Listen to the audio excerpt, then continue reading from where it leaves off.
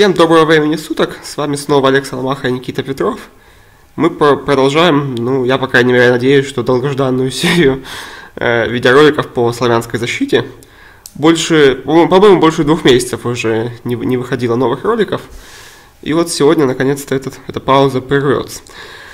Насколько мы с Олегом помним, последнее видео было посвящено в славянской защите основному варианту, после конев 3 конь f3, конь f6, конь c3, dc, a4. И в предыдущем видеоролике мы смотрели ход слон g4, ход редкий, ход отчасти ловушечный. То есть там мы упомянули вот эту вот идею с жертвой фигуры, после конь e5, конь d7, в дальнейшем e5, конь g4 оставляется, оставляется под боем. Но все-таки мы еще в том видео отметили, что в некоторых, в некоторых вариантах белые могут рассчитывать на небольшой перевес, поэтому основной рекомендацией в данном цикле видеороликов, как, собственно, мы уже отмечали в предыдущих частях, будет слон f5. Является слон f5, и тут э, белых, ну, по сути, три основные возможности. То есть, ну, g3 будет рассмотрено в ролике по вариан- варианту Фианкета в различной редакции. Возможно, ролик будет записан вместе с Петром Андреевым, но и это, это далеко не самая удачная редакция, конечно, в которой белые могут пойти g3, то есть, ну, видимо, черный сразу начинает бороться за перевес. А три основных хода кандидата это конь h4, которые мы будем рассматривать вот в данном видеоролике. Но наименее загружен теорией, и, скорее всего, поэтому видео получится не таким уж длинным. Также есть ход e3. Насколько я помню, сейчас он самый популярный на высшем уровне. Есть ход конь e5, который, как бы, согласно всем теоретическим книжкам, считается основным, но как раз вот на конь e5 я буду за черных рекомендовать такой относительно боковой вариант, поэтому исключено, что по степени теоретической загруженности ход видео с ходом E3 будет наиболее тяжелым для восприятия, скажем так. Ну, а в данном видеоролике конь h4 ход выглядит немножко странно, все-таки шестой ход, всего лишь шестой ход бело делают, и уже коня отводят на край доски ради какого-то одноходового нападения на слона. Ну, есть свои плюсы этого хода. И вот тут у черных есть две принципиальные разные возможности, мы обе из них покроем в данном видео. Но ост- ост- основной ход будет слон c8. Э, на мой взгляд, ход слон c8 просто-напросто сильнее, чем альтернатива ход e6. Но у хода слон c8 есть один серьезный недостаток. Но мне кажется, он достаточно очевиден. Заключается в том, что белые могут пойти конь f3. Да, конь f3, слон f5 5, конь h4, слон c8 и, как говорится, лука мочала, начиная сначала. Да, и эту позицию мы, мы уже не так давно видели. Ну, опять же, нужно брать слон g4, слон 5, ничего не изменилось. Но часто, часто бывает так, что турнирное, например, турнирное положение или там разница в рейтинге или еще какие-либо факторы э, заставляют нас, пусть, предположим, наш соперник отчаянно хочет сделать с нами ничью белыми, а нам вот э, кровь нужно побеждать. В этом случае ход слон c8, наверное, подходит не оптимально. Или, по крайней мере, вот уже один раз повторив позицию, здесь нужно играть слон g4. Э, другое дело, что, что, возможно, вообще славянка это не оптимальный дебют для ситуации, в которой победа нужна как воздух, потому что белые могут сыграть все-таки разменный вариант опять же, по поводу разбитого варианта, мне кажется, в одной части, то есть мы не покрывали его теорию, но в одной из частей вот данного видеоцикла я рассуждал, по крайней мере, на тему разменных вариантов разных дебютов. Так что не буду повторяться. Разменный вариант еще не гарантия ничей. Славянка подходит для борьбы за, за победу даже против сильно уступающих в рейтинге соперников. В этом ничего криминального нет. Но все-таки не всегда хочется как бы подставляться под повторение на седьмом ходу. Поэтому в качестве альтернативы, именно с этой альтернативы мы, пожалуй, начнем э, обзор хода коня h4. И здесь есть ход e6. Э, ход e6 выглядит не очень, не очень натурально, и одна из его, одна из его особенностей, то что вот ход слон c8 был известен очень давно, еще с середины, с середины э, 20 века. Ход e6 относительно молодой. Насколько я помню, ход придумал гроссмейстер Чернин, советский гроссмейстер, иммигрант, э, где-то в начале 90-х годов или в конце 80-х. Ход выглядит очень ненатурально, потому что черные позволяют белым достичь преимущества двух слонов, практически, ну, партия даже еще до середины дебюта, скажем так, не дошла, а уже белые получают преимущество двух слонов, пешка на c4 явно не удерживается, казалось бы, у белых большое статическое преимущество. Однако... Ну да, в чем же интересное дело? Ну, это, это немножко тяжело объяснить на словах. Это скорее можно вот показать вариантами. Но... Потому что если в пешечник переходить, Никит, то с пешками c6, c4, допустим, f5, f7, как-то черным легкой жизни здесь не будет, я думаю. Ну, то есть ты хочешь порассуждать по поводу вот этого вот пешечника? Предположим, ну вот... да, и потом, потом пытаться белыми менять все фигуры. Да, то есть, предположим, мы сняли с доски пешку c4 и поменяли э, все фигуры. Ну, Нет, зачем? C4 как раз не снимаем, она вообще, по-моему, особо не мешает. Нет, ну, Или я... она лишняя? Нет, она лишняя. Она, она, она, она лишняя пока. Она же лишняя. Она, она, разумеется... Мы же ее заживали. Она, разумеется, потеряется. Но э, тут не все так очевидно. Дело в том, что, по, по, по, по-моему, по, по-моему, даже пешечник, э, пешечник, по-моему, ничейный. Вот мы снимали. Ну, да, G6, он G7. Нет, здесь просто черные не будут, наверное, даже переходить в пешечник. G6, он G7 это, конечно, один из возможных планов, но, в общем, еще один момент, почему это все э, возможная реакция за черных, это потому что э, белые все-таки должны сейчас озаботиться тем, что, чтобы отыграть пешку на c4. То есть, скорее всего, ну не скорее всего, практически наверняка, ход e3 сильнейший в данной позиции. Но когда белые пойдут e3, они серьезно ограничат своего чернопольного слона. Это означает, что в ближайшие ну, ходов 20 преимущество слонов сказываться не будет, ибо слон на c1 очень пассивен. И в качестве единственного, ну, как бы, потенциального источника перевеса белых остается только лучшая пешечная структура, которая далеко, далеко тоже не факт, что она останется в пользу белых на протяжении долгого промежутка времени, потому что рано или поздно черные поставят коня на e4. Белым придется выбирать, либо бить на e4 и выпрямлять черным структуру, либо терпеть коня на e4, но это очень сильная фигура. Это, в общем, такое вот базовое какое-то объяснение, почему вообще черное можно идти на эту позицию. Но опять же, надо, конечно, смотреть все более подробно. Так, вот у меня немножко в, в моем в PGN файле немножко в другом порядке ходов. Получается, эта позиция, то есть уже после одного повторения. Конь f5 ев. Э, ну, дело в том, что если сейчас белые не, пойдут Е3, то весьма вероятно, что у них просто они придется играть без пешки, без особой за нее компенсации. То есть ход Е3 это тот ход, который вы будете видеть в 99,9% своих партий, если вдруг вообще в ваших партиях, конечно, э, дело дойдет до этой позиции. То есть Е3 ход основной. И вот тут э, возможны оба хода, и слон b4, и слон d6, но вот э, конкретно моя рекомендация является ход слон b4. Белый, разумеется, отыгрывает пешку до 0.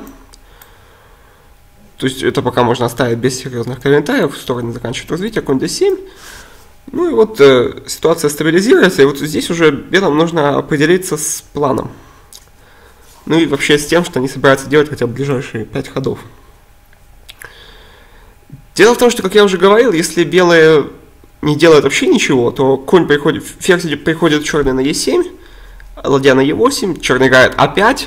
В одном из предыдущих роликов я очень долго распинался о полезности хода a5 в данной структуре. Ну и в похожих структурах. Конь приходит на e4, и белые, видимо, просто оказываются в худшей позиции, потому что черные постепенно развивают давление на королевском фланге, а что-то противопоставить ему не получается. Ну и вот тут я выделил три основных хода, ну и это действительно три самых популярных хода в этой позиции. Ход f3, то есть механически препятствуя э, появлению коня на e4 во всех вариантах. Ну, конечно, у хода f3 есть недостатки, в том числе поле e3 прослабляется. Ход ферзь b3, который выглядит не слишком гармонично, но белый, опять же, имеет конкретную идею забрать на b7. То есть ход ферзь b3 надо всегда рассматривать в подобных позициях. Ну и ход ферзь c2, который основной, наиболее часто встречающийся, но, на мой взгляд, тоже серьезного, серьезного переса белым давать не должен. Ну, в каком порядке будем смотреть, Олег, выбираем. Мне кажется, стоит ферзь b3 начать, потому что это самое... Ну да, ферзь b3, а почему, например, еще ферзь f3 плохо? Допустим. Да нет, такой чистый вопрос. Ферзь f3 неплохо. Дело в том, что ну, ферзь f3 можно сыграть, получается примерно то же самое. g6 придется играть, да, черным? Да, ну и после ферзь c2 тоже придется играть g6. Э, белые просто лишены возможности пойти f3. при ферзе на f3. Ну вот, давай сделаем какие-нибудь здесь напрашивающиеся ходы. Ну, слон d2, да? Ну, логи... Слон d2, да. логично. Надо как-то его развивать, выкуривать, да. Ну, предположим, Товарищ. ферзь d7, ладья, какую-нибудь ладью на d1, да, или как? Ну, понимаешь, с ферзем на f3 белым немножко тяжеловато ходы делать. Ну, Ну да, согласен. ладья d1, Я понял, конь да. b6, слон b3, потом ладья d8, конь e4, конь d5. Черные перехватывают все вот эти белые поля, устанавливают такую блокаду. И, не знаю, мне вообще позиция больше за черных нравится. Ну, согласен, да. То есть Просто это- я вот чисто спросил, так это с точки зрения именно почему бы так типа не сыграть. Ну, понятно, именно что ферзь на f3 просто становится неуделом. На b3 разница в том, что он хотя бы еще на ферзевый фланг поддавливает. Ну да, то есть на b3 он давит на b7, а основной ход ферзь c2, как я уже говорил. Это немножко... Ферзь c2 это просто улучшенная версия хода ферзь f3, чуть-чуть. Я вот поэтому ферзь f3 не, не забивал свой файл на самом деле. Ну, ладно, начнем с ферзь b3. То есть белые таким образом намекают на слабость пешки b7. Э, разумеется, ну, размен слона на c3 он вообще не обсуждается, потому что тогда вот слон выйдет на 3, преимущество двух слонов будет очень серьезно сказываться. То есть, ну, позиция по слон c3 безнадежна для черных просто. А, опять надо играть. ну да, опять это крайне типичная реакция во всех вот этих славянских э, структурах на ферзь b3. Но опять же, белые могут развиваться слон d2, ну черные ничего особенного тогда не придумывают, играют ферзь e7, ладья e8, конь b6, ладья d8, конь d5. Все по, в общем-то, по тому же плану, что указано после ферзя f3, но только ферзь на b3, если он не забирает на b7, он стоит еще хуже. Потому что он крайне ограничен со своими же собственными фигурами. То есть, ну, принципиальный ход коня 2, слон d6 и ферзь b7, ну это проигрывает. Там, мне кажется, на H2 что-то полетит. Потом конь G4, и как-то там очень все это глядит грозно на королевский фланг. Я вот не смотрю даже в нотацию, просто вот чисто так смотрю, и как-то, ну, слон H2 здесь, не знаю, ну, наверное, не сразу, а сначала ладья B8, а потом слон H2, например. Да, ну, в общем, тут черный выигрывает. Э, Действительно, выигрыш связан с идеей слона h2, но единственное, есть один нюанс, и желательно, ну, не обязательно, но желательно примерно запомнить, что здесь делать черными. Потому что ну, в противном случае белые просто с двумя лишними останутся. Или с лишней фигурой по слону h2. Дело в том, что жертва слона h2 тут не совсем обычная, э, и разница в том, что ладья подключится. Ладья с А8 подключится в атаку, как, как ни странно.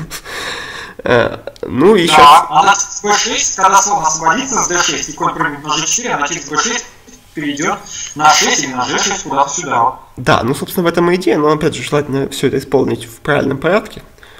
Ну, мой порядок ходов, он проверен с компьютером, и я помню, что оценка здесь примерно минус 3.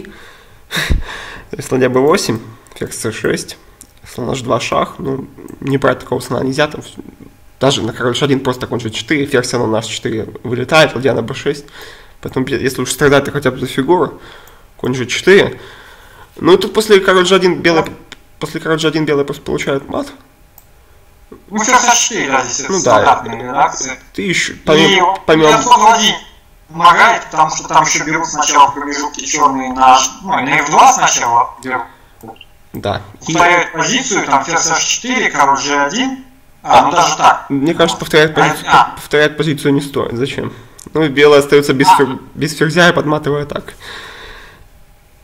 Ну да, согласен. И так, и так выигрывает. Ну хотя там и ферзь H4, король G1, ферзь H2, король. Ну там, мне кажется, просто добьют. Ну, как бы, главное лишний шагов не Там- дать. Там, конце- там еще в конце вилка на E5 будет. Какая вилка? То есть, когда король на D3 загонится, А как его загнать? то просто будет вилка. Ну, ферзь H2, король F1, ферзь H1, король E2, ферзь G2. Не, так нельзя. А, там ферзь! Ах ты ж, блин, вот какой, а! Ну да, вот поэт- поэтому важно ладья b6 сыграть все-таки. Согласен. Иначе, вот, иначе можно было побить на h2 сразу, и ферзь на b7 не защищает. Но, к сожалению, как, вот вариант король g1 он вообще, по сути, он не, не критический. Критический вариант король Не, g3. ну, король G3, конечно. Да, и тут вот, ну как бы обычно в таких, в в- ну, после вот этой типовой комбинации, черные либо дают шаг э, ферзем с c7, либо с d6, либо выс- выскакивают ферзем на g5. оба хода в данном случае не выигрывают. Ну, точнее, ферзь c7 просто нет хода, и ферзь d6, а ферзь g5 не выигрывает ввиду e4, если я не ошибаюсь. Но, а выигрыш есть после хода ладья b6. То есть, насколько помню, компьютер вообще считает, что здесь самое сильное за белых это отдать ферзя. Но мы, мы, наверное, это обсуждать не будем. Дело в том, что если не... Да, если не отдавать ферзя, то его надо куда-то убирать. Э, ну, а полей, полей немного. Поле-то всего два на самом деле. Это поле f3 и поле d5. Ну, насколько я понимаю, правильно? Да. Э, но, но если ферзь f3, то ладья g6 побеждает. Да, конечно, ладья g6. Да, и ну, в скрытый шаг ну, допускать. Никакие, e4, главное, никакие здесь не спасают, потому что это не ферзь на g5, а ладья на g6, и оно не прикосновение. Ну да, то есть грозит миллиард скрытых шахов, но конь e5 из них самый действенный. Ну а если король отходит, то просто ладья h6, ферзь h4, например. Я думаю, это уже можно дальше не смотреть. Ну вот, а, поэтому ход... Да, ход ферзь f3 поэтому слаб. Ну, любой ход проигрывает, но ферзь f3 проигрывает совсем просто. А после ферзь d5 получается ситуация, которая довольно редка для вот жертвы слона h2. Черные выигрывают, но немножко неожиданно. Они играют ферзь c7, ну и тут э, вне, есть, ну, я выделил основным ходом f4, то есть король f3, но f4 ничего не меняет. Дело в том, что в любом случае, предположим, там, король f3, ну, выглядит более натурально короля на e2 спрятать. f4, после f4 ровно такой же ход выигрывает, ладья d6.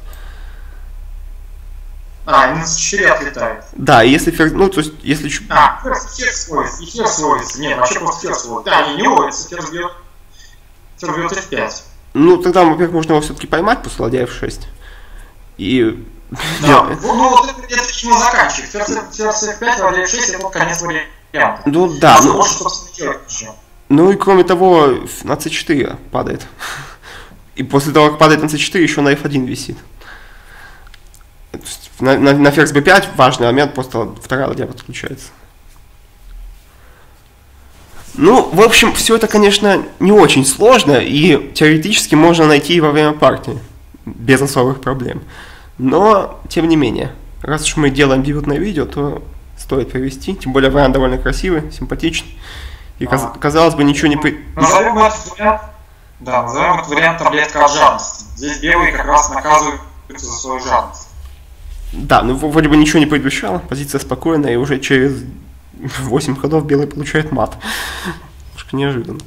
Ну, таким образом, ферзь b3 ход сомнительный, а взятие на b7 просто проигрывает.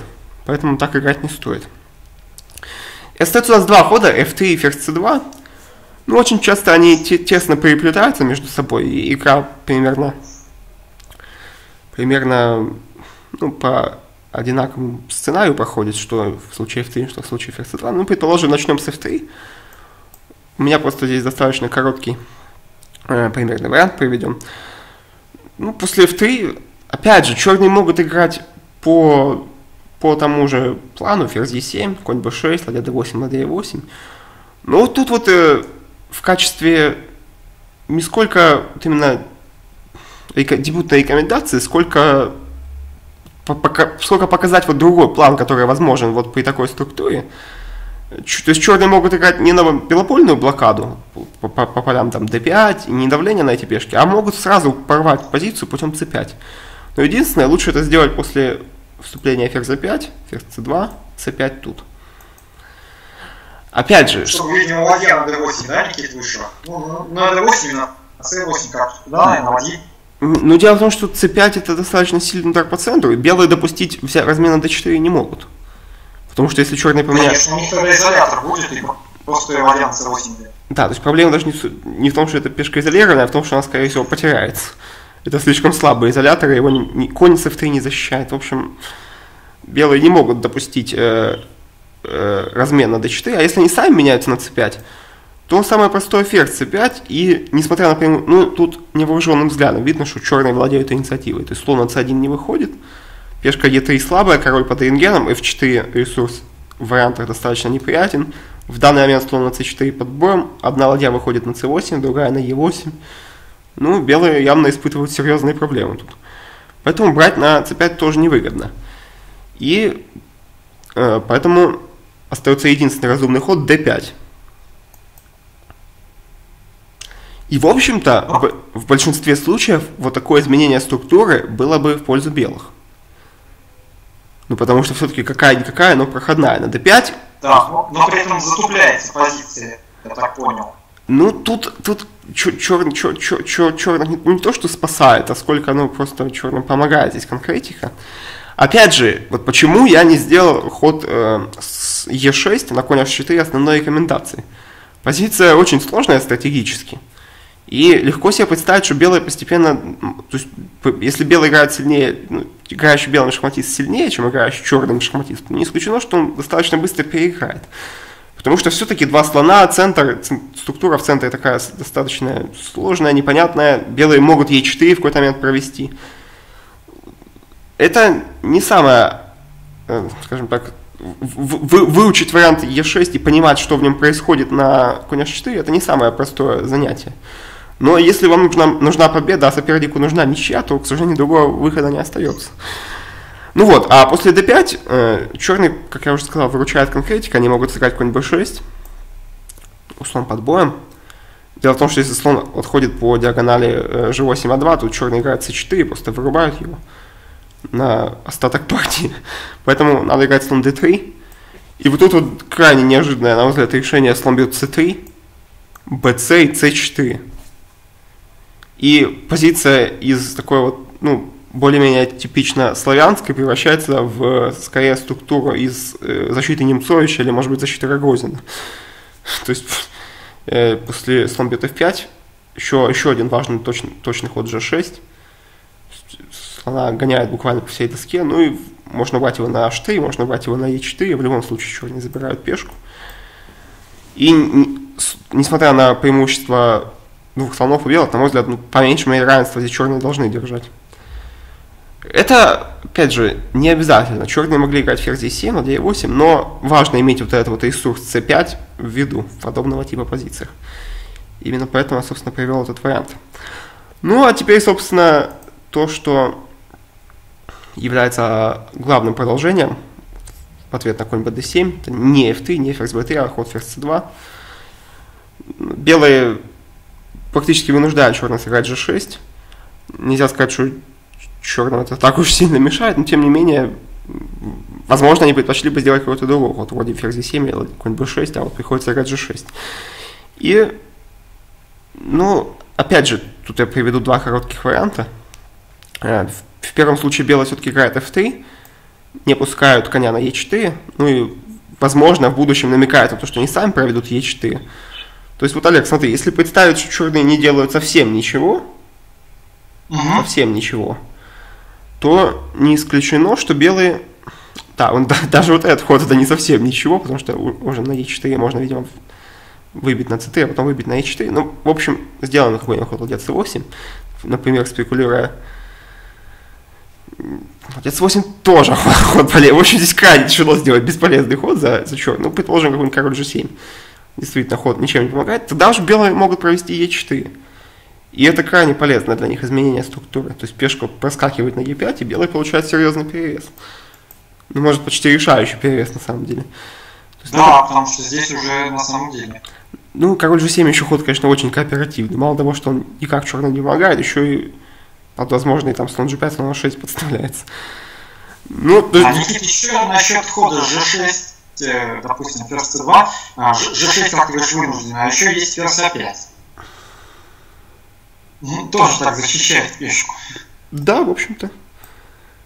Не исключено. Но мне кажется, но мне кажется что все равно с персональных ходов, опять же, те же самые структуры, все равно потом играем G6, то же самое, C5, наверное, в 11 8 то есть здесь именно игра, ну, вот в таких вот структурах уже игра именно схемами какая-то получается. Ну, то есть не конкретная игра, где вот где там слон H2, да, вот летела, ну, именно конкретные ходы. То есть, если, например, черные это не находят, то они просто остаются без пешки плюс плохой позиции. Ну да, то есть Олег прав, и здесь э, именно поэтому я не просто не привожу длинные варианты, потому что они все будут абсолютно бессмысленны. То есть шансов, что у, у, на каждом ходу у черных и белых очень много ходов кандидатов примерно равноценных.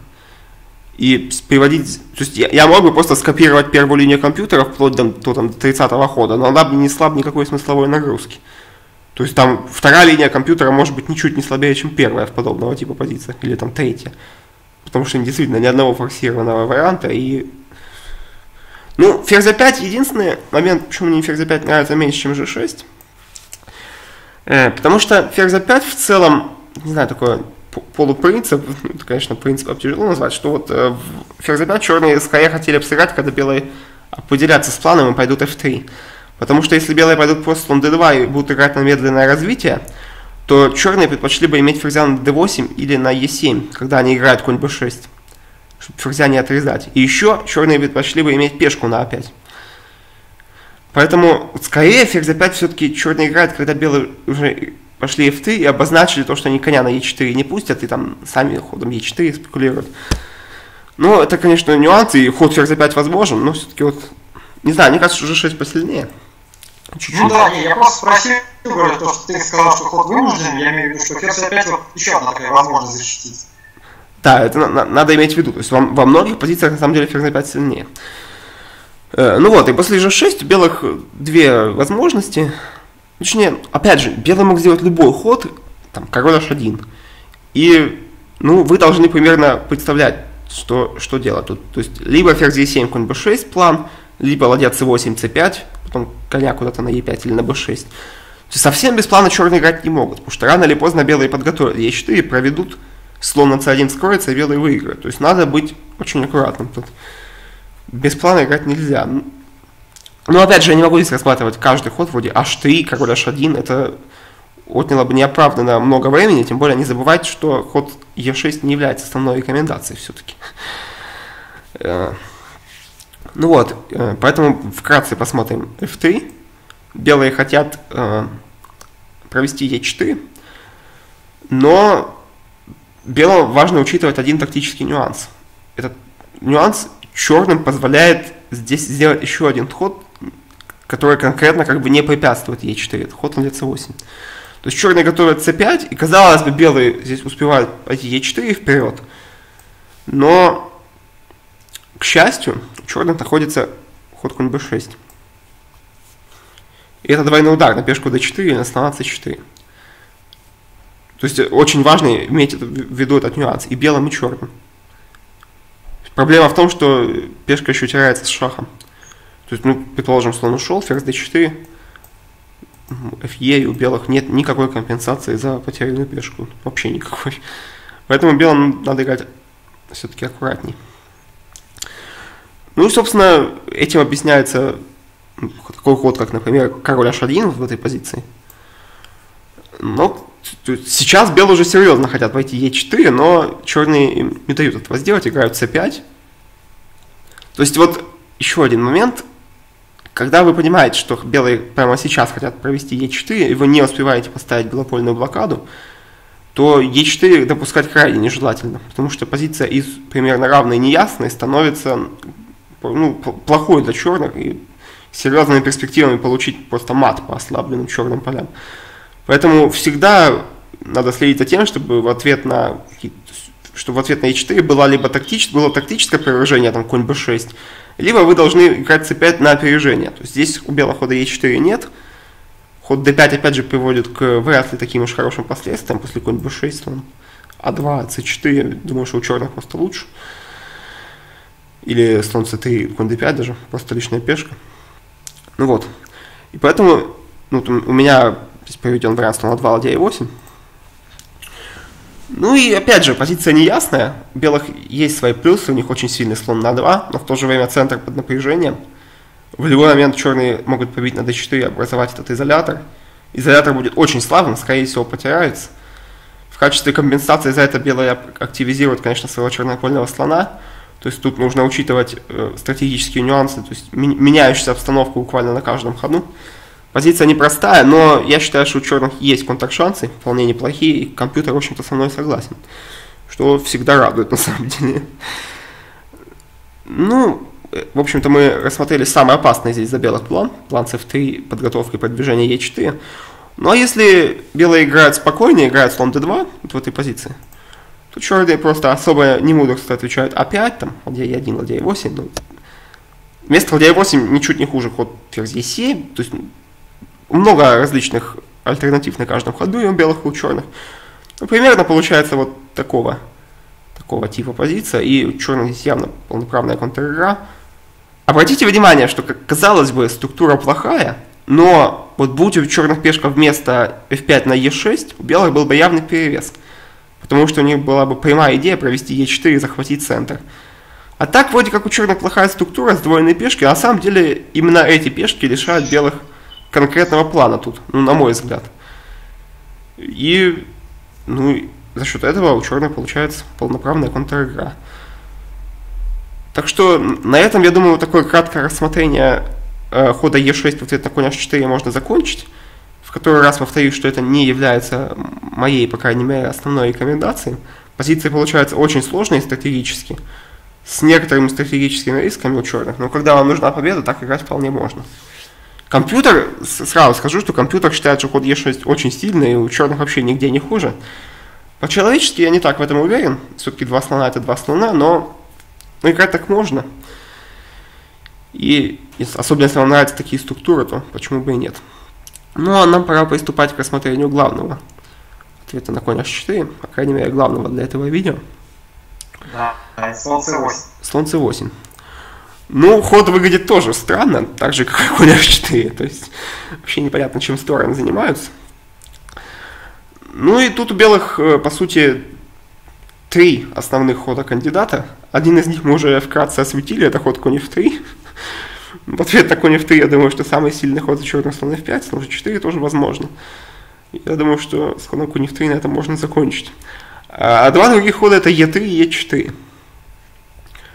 Э, ход, сразу скажу, что ход e3 намного более опасен для черных приводит к намного более сложным, насыщенным позициям, но ход e4 амбициозный и важно знать, как на него реагировать. То есть, э, ну, первый ход находится без особых проблем, потому что это, например, в принятом ферзевом гамбите, это уже фактически правило – если соперник, пошел, если соперник пошел Е4, то дабы не быть раздав, дабы не попасть просто под пресс и не проиграть сразу, обычно надо играть Е5. Ну, то есть в принятом ферзем, конечно, есть альтернативы, вроде конь F6 или конь C6, но тут другая позиция, и тут реально, если не пойти Е5, то с черным предстоит крайне неблагодарная оборона. А с другой стороны, после Е5 нет вообще никаких проблем.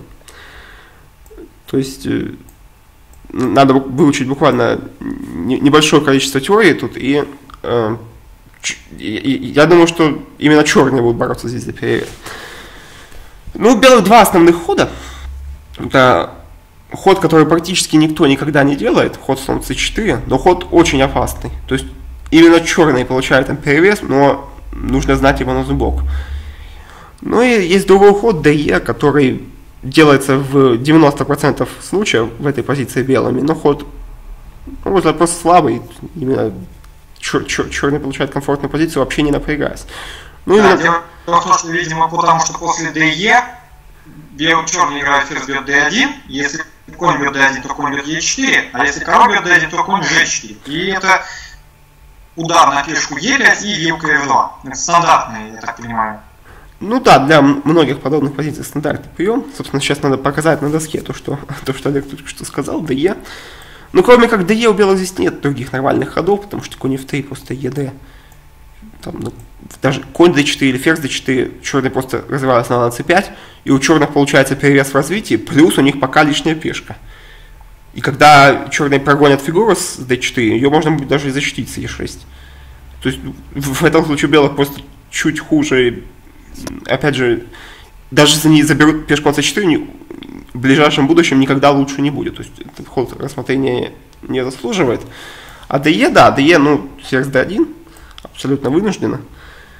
Снова у меня почему-то куда-то девается нотация. Да, ферзь D1. Ну, и у белых две возможности, как Олег справедливо сказал. Конь бьет D1 и король бьет D1. Но единственный, на самом деле, нормальный ход это конь бьет d1, потому что после короля d1 конь g4. Дело в том, что вот сейчас на доске материальное равенство и висит на f2. То есть белые должны защищать на f2, видимо, ходом король e1. Но я ничего умнее не вижу, по крайней мере. И после конь e5, мало того, что черные э, забрали эту пешку на e5, у них в данный момент еще и лишний материал, потому что на c4 защищено. И этого коня не так легко сбить. Потому что если пойти f4, то конь d3, слон d3, e, cd. Понятно, что пешка скорее всего не желез, но если белые промедлят, то черные защитят с b4 конем. То есть пойдут конь а6 и конь c5, либо конь b4. Ну а если белые сразу ее будут брать, ну абсолютно понятно, что это вряд ли может привести здесь к чему-то хорошему. То есть 3 0 следующий ход, но и у белых явные проблемы, причем большие. Да, с таким королем. Да, то есть несмотря на то, что ферзи разменены, но в общем это, скорее всего, будет беда просто у белых. Поэтому, ну, видимо, надо делать какой-то другой ход, слон f4. После слона f4 черные могут пойти слон d6, и белым, чтобы забрать эту пешку, приходится отдавать слона. Ну и опять у черных перевес, причем достаточно комфортный, за счет двух слонов и слабости, чернопольных слабостей у белых. Поэтому ход король бьет d1 ну, совсем слабый, надо играть конь бьет d1. Но после конь бьет d1 черные могут забрать на e4 немедленно. Тут ну, взять на c4 вынужденно, и тут еще один такой важный ход. Впрочем, заметить его очень легко, слон 4 шах. Белые лишаются рокировки. И проблема даже не в этом, а в том, что черные развиваются легко и с комфортом. И после король e2, конь d7, ну, вряд ли у черных может быть серьезный перевес, но то, что они, они владеют инициативой, это абсолютно, на мой взгляд, очевидно. Ну а если вы после 11 ходов, не сделав ни одного сложного хода, получаете черную инициативу, то вряд ли вам нужно что-то больше от дебюта. Но мне, по крайней мере, совершенно точно не нужно. Ну, то есть, у белых плохой король, плохая координация фигуры, слабость на e5, ее приходится защищать, улучшать, ухудшать свою координацию фигуры еще, еще дальше, но черных небольшой перевес, и белым нужно играть очень аккуратно, чтобы не проиграть. Поэтому ход de не опасен, а вот ход э, после e5 слон bc4 это совсем другое дело. Дело в том, что вот сейчас у белых э, заметный перевес в развитии, черным нужно что-то делать, то есть, скорее всего, нужно брать на e5, то есть на d4, прошу прощения, пешкой. Опять же, от, от, от, отходы коня серьезно не рассматривается, потому что черный будет слон b4 шах. Вот e5 это другое дело. Это тоже более-менее типичная, типичный прием за белых, в том числе в принятом ферзевом гамбите, но тут он с небольшой, с небольшой изюминкой. Ну, если сейчас черные берут коня, то они просто получат худшую позицию, поэтому надо брать на, на c3. И казалось бы, ну, после какого-нибудь там э, ферзь d8, король d8 у черных просто лучше, там e, конь d7, ну, если взять на g7, то слон g7 на c3 защищено, черный, такой вариант. У черных просто громадный перевес, ну, просто выигранная позиция, скорее всего. Поэтому надо брать на c3 немедленно. Конь f6. В данный момент у черных одна лишняя пешка, взять на f7 вынуждена, но и тут видно невооруженным взглядом, что просто за счет лучшей структуры у черных заметный перевес, и только они играют на победу. И казалось бы, на этом рассмотрение хода слон c4 можно заканчивать. На самом же деле, конечно, все намного сложнее. Дело в том, что после взятия на c3 в белых есть удар слон f7. И если вот играющий черными шахматист не, зна не знает, что тут делать, не знаком с теорией, или, может быть, не смотрел это видео, то желание сдаться просто нестерпимо, если честно.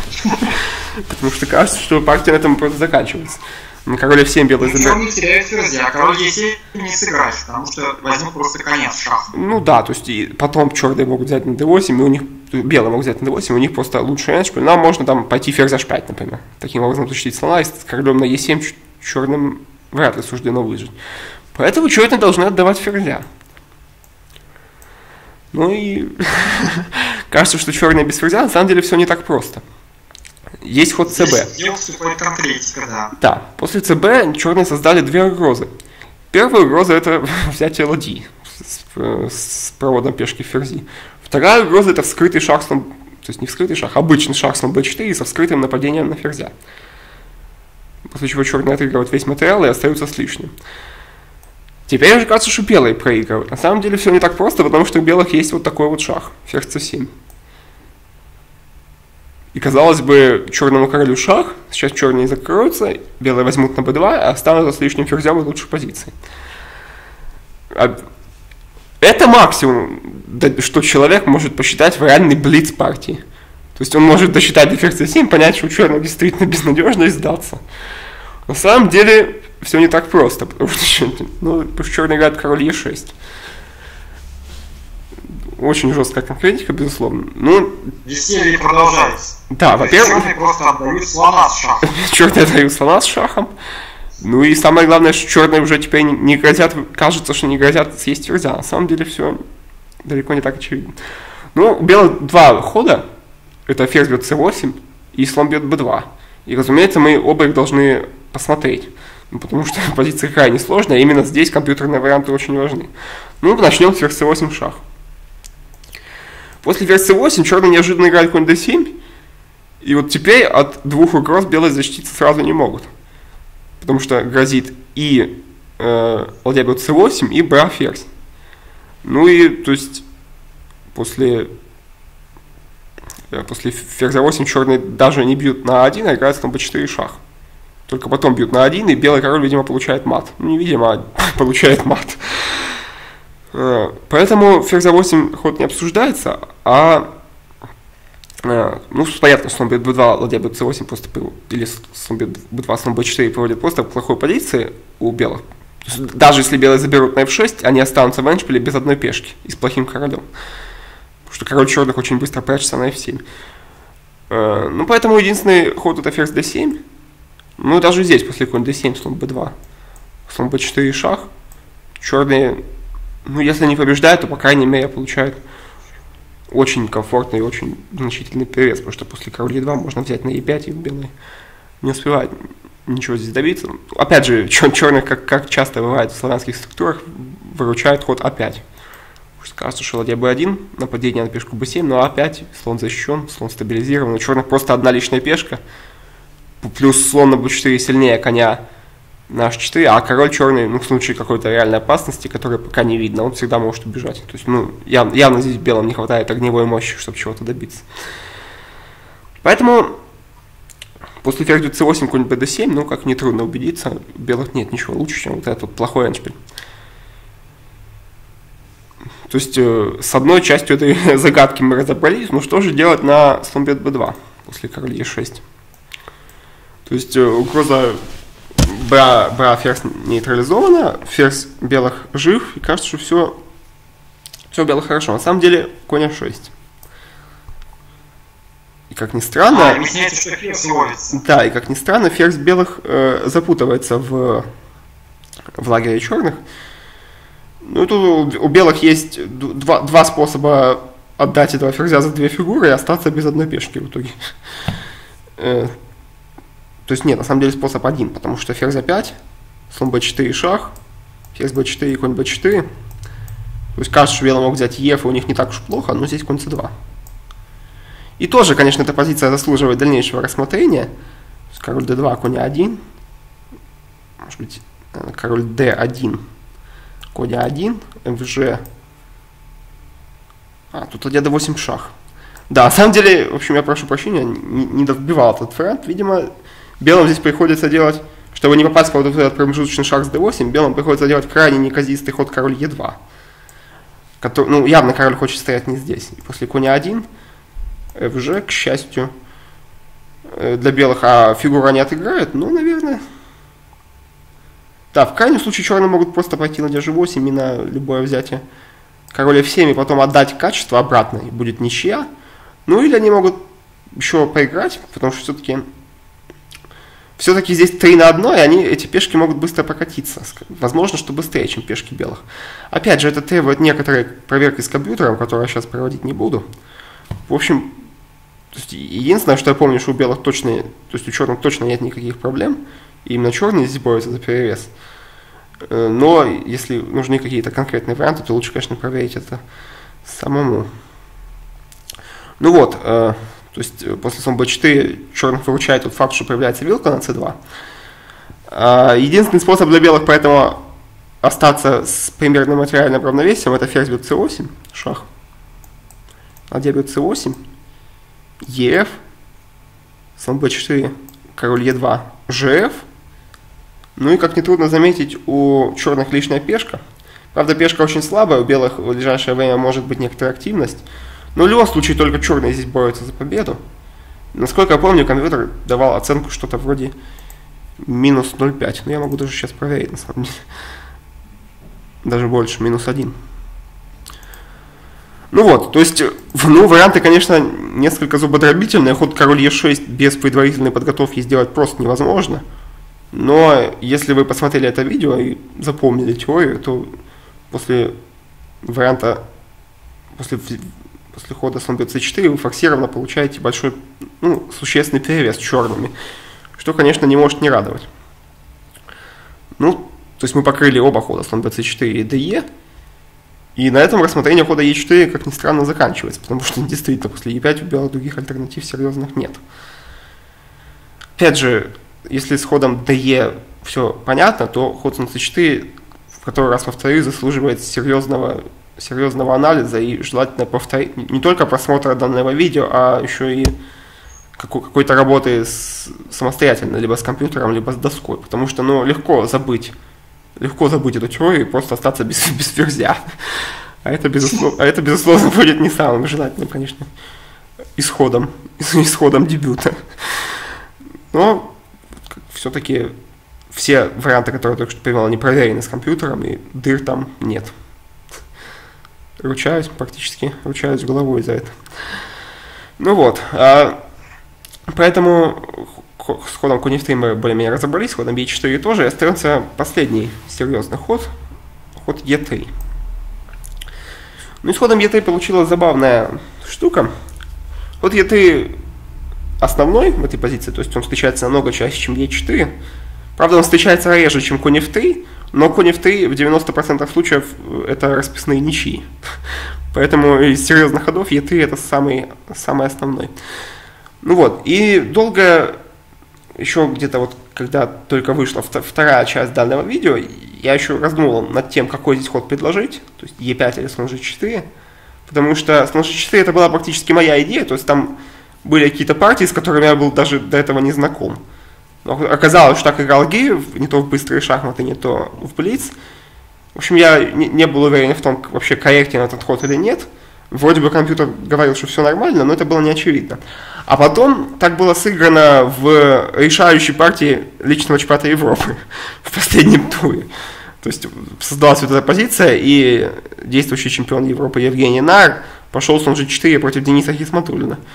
После этого я решил, что можно это рекомендовать. То есть ход прошел проверку на достаточно высоком уровне. Все-таки, ну, чемпионат Европы это очень сильная швейцарка, в которой больше 70% участников это гроссмейстеры. Ну вот. Дело в том, что с большим запасом самый основной ход здесь это Е5. И, как я уже говорил, я хотел его рекомендовать, то после Е5 получается позиция с изолятором. И, несмотря на то, что э, эту позицию с изолятором играть можно, все-таки тут, э, ну, во-первых, она требует очень хорошего понимания игры против изолятора, что наверняка есть не у всех зрителей данного ролика. А во-вторых, это немножко неправильный изолятор. Э, обычно изолированная пешка d4, э, то есть структура такая, пешка d4 против пешки e6, и пешки c у черных нет. И там черные развивают слона, белопольного слона, которая это проблемная фигура, либо они развивают его на b7, то есть это оптимальный случай, но не всегда получается, либо они ставят его на d7, и в дальнейшем на c6, после чего белый играет конь e5 и выменивают этого слона.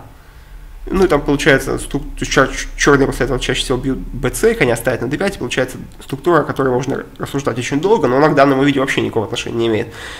Либо черный прячет этого слона на e8, и казалось бы, слон стоит там пассивно, он всегда готов выскочить либо на c6, либо на b5. А вот изолятор э, на из, из, изолятор против пешки c это совсем другая структура. Но в ней все та же самая проблемная фигура черных. Это слон c8. То есть кажется, что слон наоборот скрыт, у него целая диагональ. На самом же деле, когда черным, перед черным встает задача развить этого слона куда-то, это далеко не всегда так просто. Потому что, во-первых, когда он уходит, очень часто у белых появляется ресурс ферзь b3, цепляя пешку b7. Во-вторых, ну, очень часто белые играют таким образом, то есть они ставят пешку на h3, а ферзя на c2 при коне на f3. И у слона не остается ни поля g4, ни поля f5. А это единственное поле, на которое он может удобно развиться. То есть по внешним признакам изолятор против пешки c6 кажется более выгодным для черных. На самом деле все далеко не так просто. Ну, конкретно вот в данном варианте есть еще один нюанс.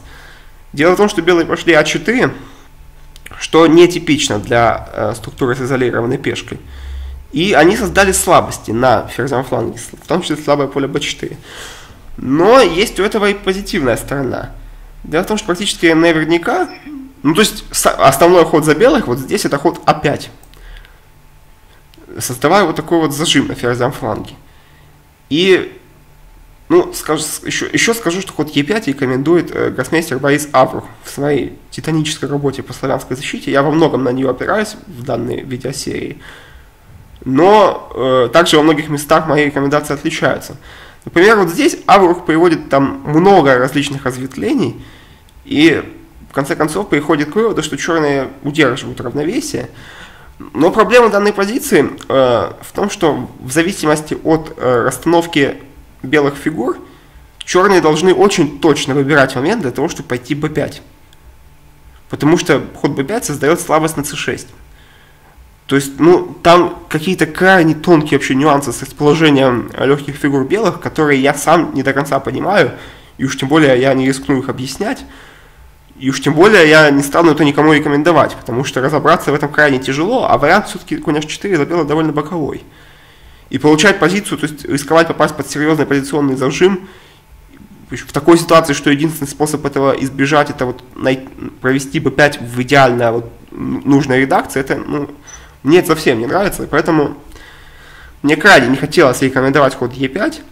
В какой-то момент я думал, что придется, но вот я подвигал, э, пришел к выводу, что вот эта идея слон g4 жизнеспособна, нашел партии Аниша в быстрые шахматы или в Блиц, там я уж точно не помню. Ну, потом так сыграл Найер в решающей партии для себя, ну, можно сказать, партии жизни, и развеял все мои сомнения.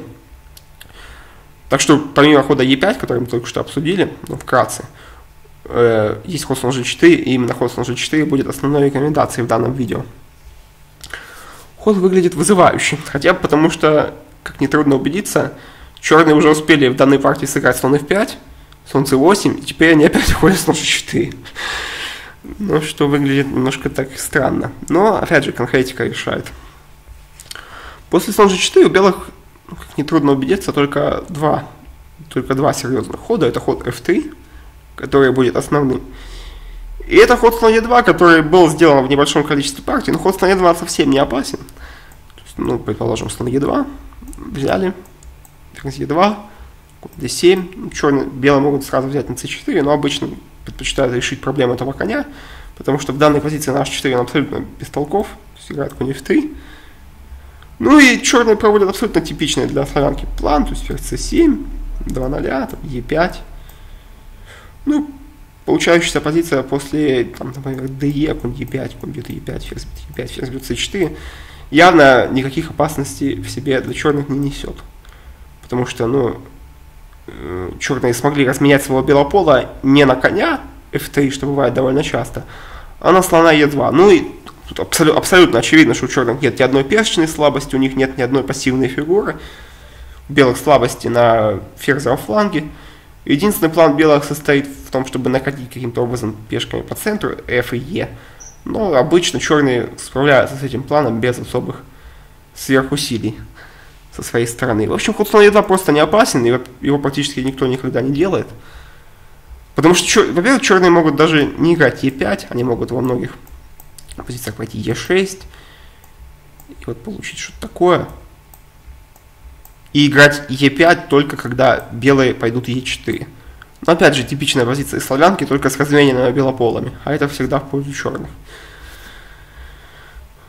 А вот ход f3 намного более серьезный.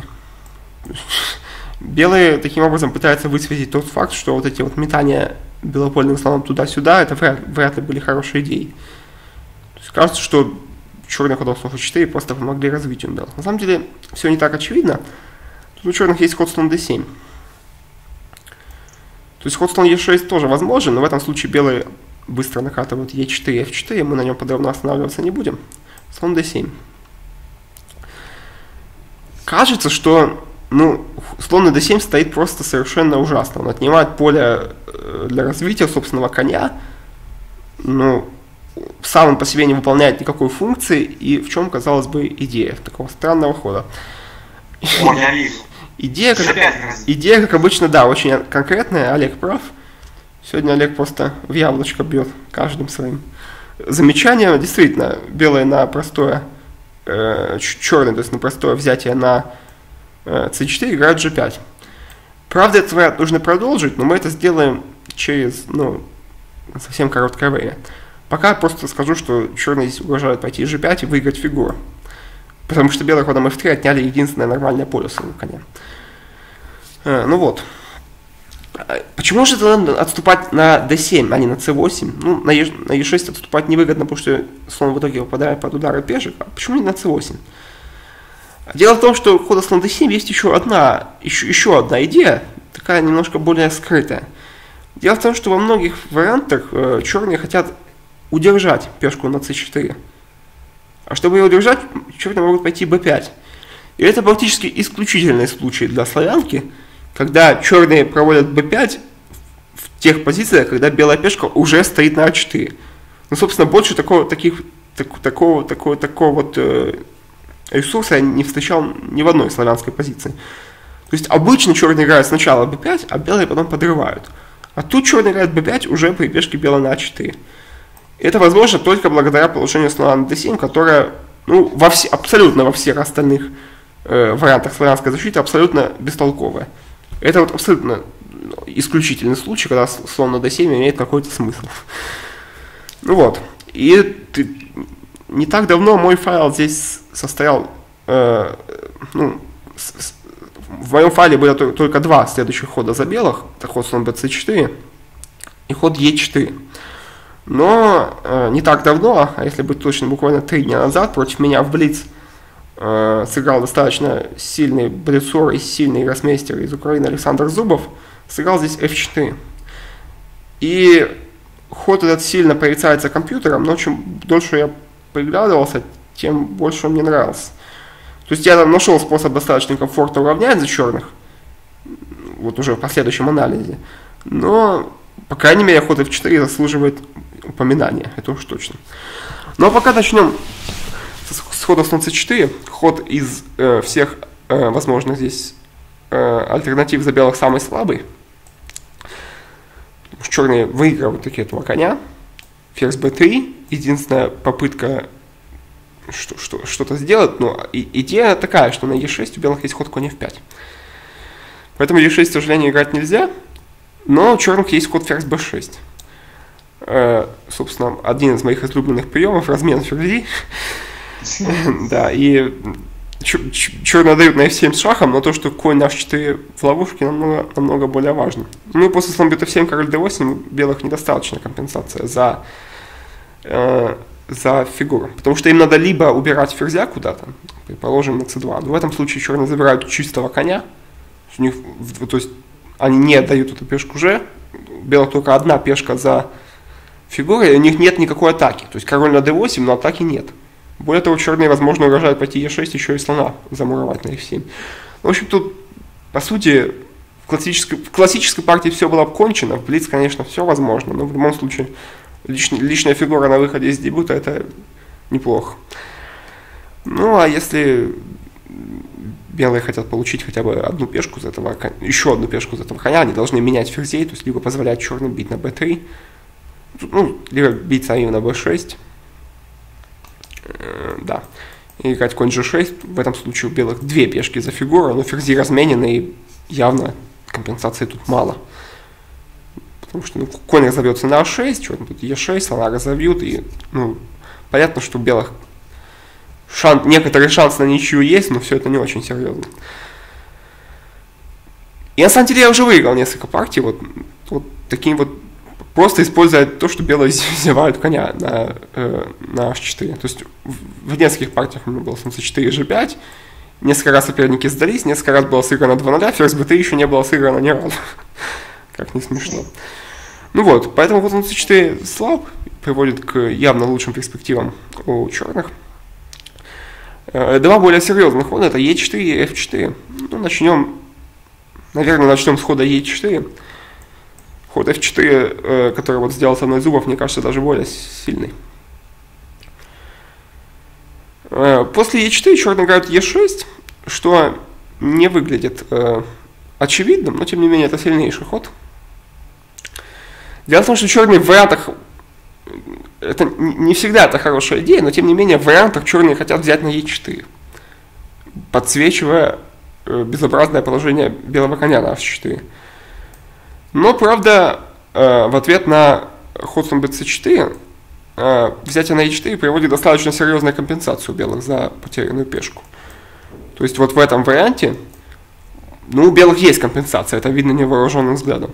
Возможно, у черных все равно хорошая позиция, но я не рекомендую так играть, потому что есть э, более сильный ход и тоже очень идейный ход c5. Кажется, что у белых некоторый перевес в развитии и перевес в пространстве, но это обманчивое впечатление, по крайней мере, вот часть относительно перевеса в развитии, потому что конь на h4, он хуже, чем конь на g1. Кажется, что он развит, на самом деле это какое-то антиразвитие просто.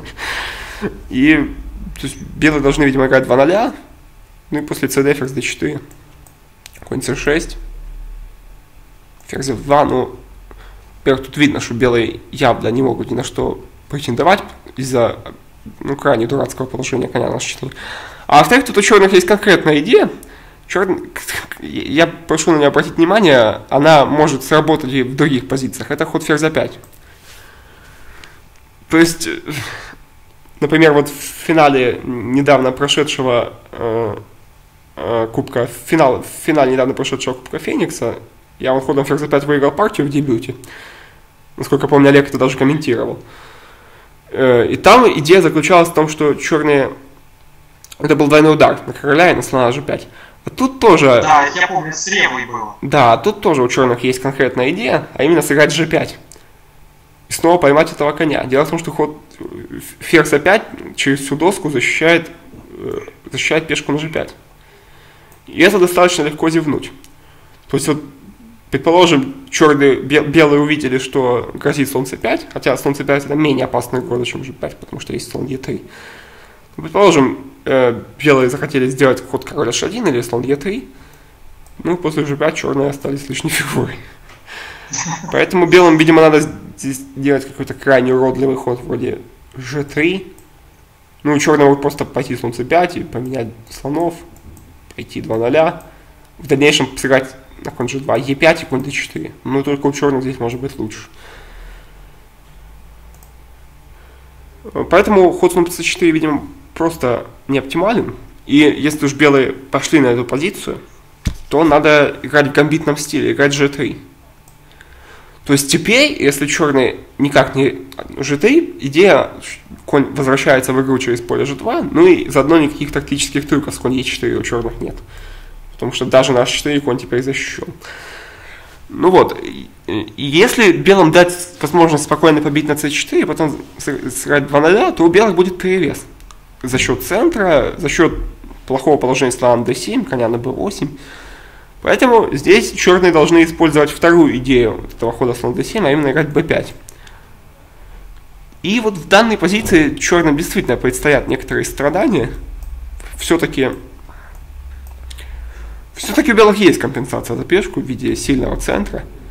Но компьютер тут однозначно, совершенно однозначно встает на сторону черных. То есть он пишет, если не ошибаюсь, что-то вроде пол пешки в пользу черных, а это очень серьезно для подобной структуры. Ну и действительно я немножко подвигал эту позицию и черных нет особых проблем, у белых есть компенсация, но слон уходит на e8, конь развивается через d7, важно, конечно, при этом не земнуть пешку на b5. Ну, у белых есть компенсация такого вот каталонского типа, но я бы точно здесь взял бы черных, и если эту позицию, на этой позиции еще немного поработать самостоятельно, то вообще можно идти сюда без всякой опаски.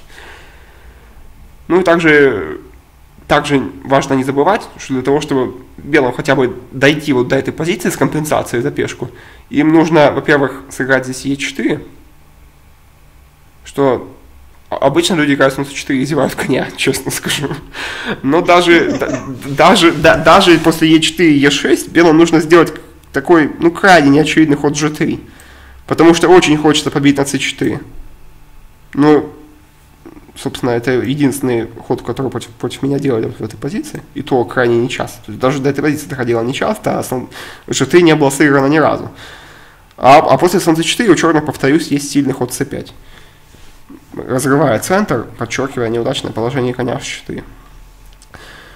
Ну и даже если вдруг ваш соперник либо, не знаю, смотрел это видео, либо он очень грамотный позиционный шахматист и почувствовал, что здесь есть компенсация, в любом случае, ну, мне кажется, что это лучше, чем, например, тот же антимосковский гамбит в славянке, который, тем не менее, играет, ну, очень много игр вместе. Или вариант ботвинника в славянке. То есть это похожая структура, но у, черных, у белых здесь фигуры стоят хуже. Поэтому у черных лучше шанс, чем обычно. Вот, например, сравните с антимосковским гамбитом. Там черные играют h6 и g5. То есть мало того, что у них на ферзевом фланге слабости, у них еще и на королевском фланге слабости. И у них хуже развитие, чем в этой позиции. Но все равно считается, что черные более-менее держатся там. А тут-то и королевский фланг надежен, и черных пара лишних темпов, и пешка на f3 и конь на e3 как-то не очень сочетаются между собой, и слоном на g2. В общем, впереди много игры в этой позиции, но у черных нет оснований быть расстроенными итогами дебюта. Ну вот, и э, самый серьезный, видимо, ход, и это последнее, что вообще остается в данном видео, это ход после слон d7 f4. Это вот как раз обновление, да, Никита? Да, это, это обновление. Так со мной играл э, сильный блицор с рейтингом серьезно за 2700 Александр Зубов. В шахматной планете буквально совсем недавно. И, и Зубовым я играл b5, потом e6 и получил, то есть э, я удерживал эту пешку и по, получил в итоге большой привет черными по дебюту, но только потому, что Александр сам ошибся. Это ему не помешало в итоге выиграть партию, но придя, не, не то чтобы я и был дома, но открыв чесбейс, я понял, что на самом деле удерживать пешку крайне рискованно, и вся эта затея могла быть поставлена под сомнение. И для, для этого видео я предлагаю э, немножко э, другую схему.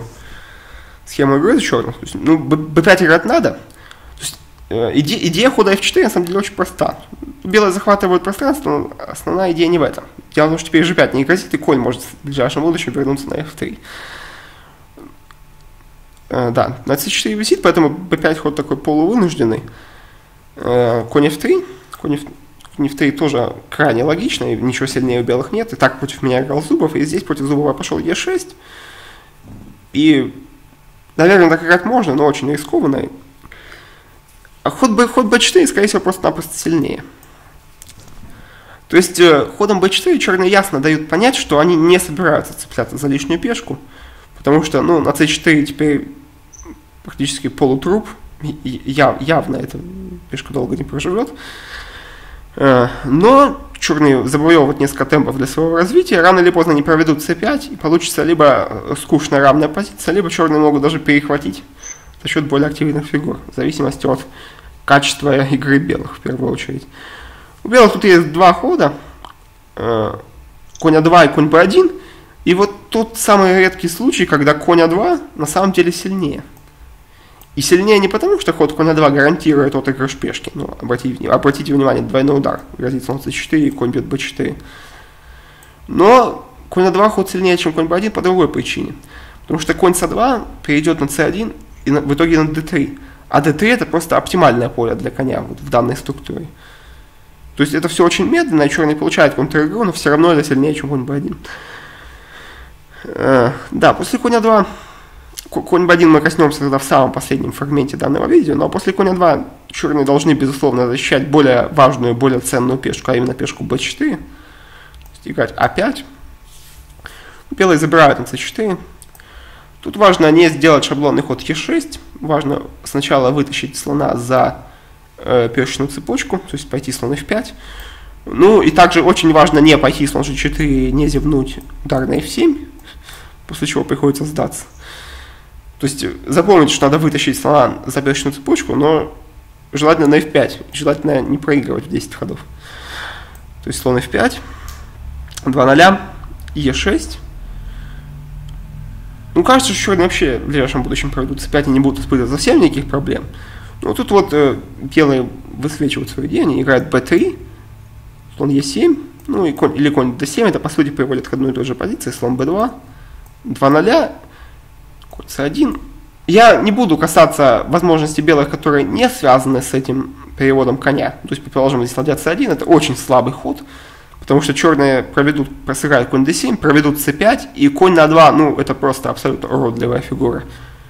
То есть единственная, единственная причина, по которой имеет смысл ставить коня на 2, это его перевод через c1 на d3. То есть, ну, слон b2 до 0, и здесь конь c1 это единственный разумный ход.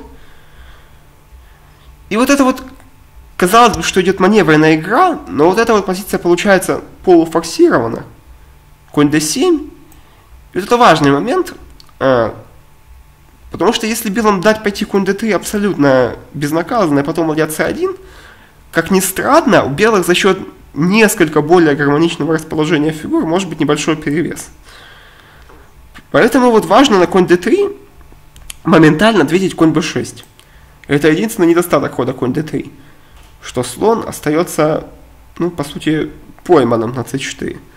И после конь fe5 черные, разумеется, его меняют, конь c4, ладья c8. И тоже у белых бе, бе, со слоном на c4 белые могли здесь претендовать на э, некоторое позиционное преимущество за счет того, что они начали обрабатывать эти слабости на c6 и на a5. Но при размененном белополе у черных всегда будет сильная контр-игра в будущем за счет слабых белых полей. То есть вот тут белые, наверное, серьезно предпочли бы иметь свою пешку не на f4, а на f2. Но уже, к сожалению, поздно, и пешки назад в шахматах не ходят. Ну и поэтому черным тут, видимо, действительно полноправная контр-игра. Но это важный момент, то есть если промедлить и дать, например, белым поставить коня с d3 на e5, потом убрать слона на e2, белый получит заметный позиционный перевес. Ну вот, поэтому... слабый, да, Никита? Да, и черные, даже когда проведут c5, у них немножко хуже стоят фигуры. Это тяжело объяснить, но это, если вы начнете играть эту позицию, это сразу, сразу станет понятно. Поэтому ход конь d3, видимо, просто не очень удачный, из-за того, что допускать размен белопола невыгодно. Э, сильнее ферзь e2. Но тут, к счастью, ферзь e2 это не, ну, не то, что потеря темпа, она все-таки не такой полезный ход, как конь d3. И черный успевает пробить по центру путем c5. Тут после конь d3 ладья c8 уже больших проблем нет. Обратите внимание, в будущем все равно можно сыграть конь b6. Ну, ферзь e2 просто не точный ход. То есть, ну, ход, который не, не оптимален в случае, в случае исполнения черными хода c5. Ну а если ладья d1, то cd. Ну, конь d4 вообще не очень выгодно из-за слон g4, приходится возвращаться к конем обратно. Да. Ну а если брать э, слоном, то просто ладья c8. Ну это достаточно типичная ситуация, например, для того же принятого ферзевого гамбита. В целом структура симметричная. У белых, можно сказать, чуть-чуть более активные фигуры, но пешка на f4 стоит хуже, чем пешка на f2, то есть в будущем на Е3 слабость, на Е4 слабость, это может сказаться. Опять же, эта позиция требует ну, некоторого понимания шахмат, потому что, ну, я склонен думать, что более сильный, более сильный игрок здесь э, переиграет более слабого, то есть, ну, возможность для этого позиция предоставляет. Но в любом случае я не был способен найти ничего лучше за черных чем вот, вот это вот. У черных здесь объективно, с точки зрения шахматной истины, нет вообще никаких проблем, у них не хуже абсолютно. Ну, если вы играете сильнее, чем соперник, вы вполне можете его здесь переиграть. Ну, черные собираются в ближайшем будущем ферзя перевести на c7, возможно, на b8, или на, даже на a8, а ладью поставить на d8. Ну, просто все фигуры улучшить. Важно в некоторых, в некоторых позициях пойти h6, сделать форточку, заодно иметь возможность спать слона на h7. Ну, опять же, рассуждать можно долго. Главное, что у черных тут нет, нет проблем. Но, тем не менее, ход коня 2 в любом случае намного сильнее, чем конь b1, вот, вот, вот в этой позиции. Потому что после конь b1, э, казалось бы, конь на b1 намного ближе к эпицентру событий, он может прийти на d2 или там, взять на c4. Но тут вот э, конкретика оказывается э, в том, что поле c4, оно не может разорваться на, на две фигуры. На коня, на слона f1 и на поле, и, и, и на коня b1. Поэтому, ну, как вы сейчас увидите, фигуры, фигурам белых несколько не хватает гармонии. После c5, слон c4 и конь c6. 2 0 Е6. Вот э, во всех э, подобных позициях белым очень хотелось бы иметь своего коня на d3 и слона на b2. Но с конем на b1 все это, к сожалению, недостижимо. И, в общем-то, если сейчас белые делают какой-то ну, вялый ход вроде b3, то после cd у черных просто перевес. На, на ед понятно, что у черных чуть лучше структура. После конь d4, слон c5, слон b2. И обратите внимание, что этот конь вместо шикарного поля d3 должен будет занимать, ну, не очень удачное поле d2 и черт, чуть лучше позиция. Конь d2, например, ферзь b6. То есть, ну, в сравнении с конь d2, вот этот вариант явно проигрывает за белых. Да, особенно вот этих нюансов держится. Да. Ну, тут, с другой стороны, у белых есть другой ресурс, и они, они практически обязаны его играть, чтобы не попасть в худшую позицию. Это ход f5, после слон d6. Э, да, f5, ну, понятно, что брать на э, f5 слишком рискованно, в первую очередь по причине конь g5.